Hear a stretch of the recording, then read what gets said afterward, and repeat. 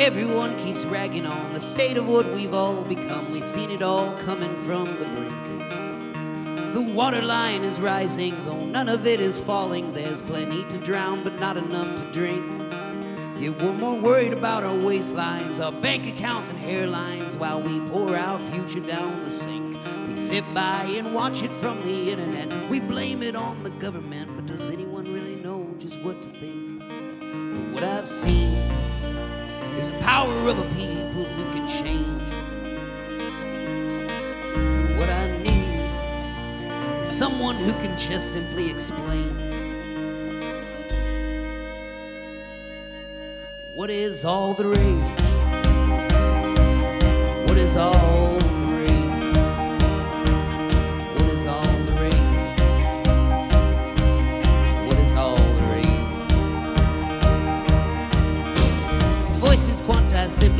Organic matter digitized, soul no longer needed to sing.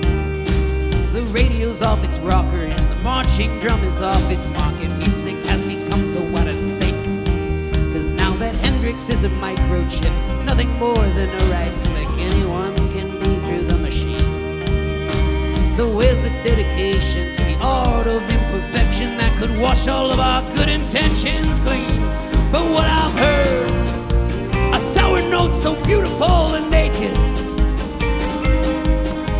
I need is something so real it never can be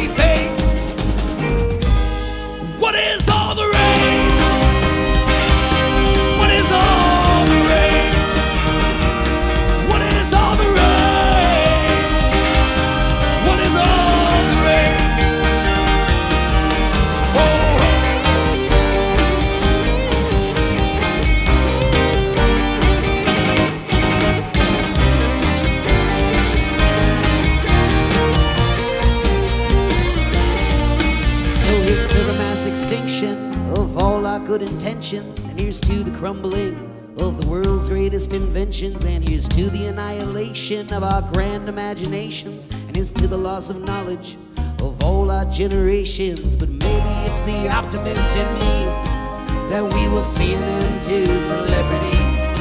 Where I can turn on my TV and not again will this question be raised. What is all the rage?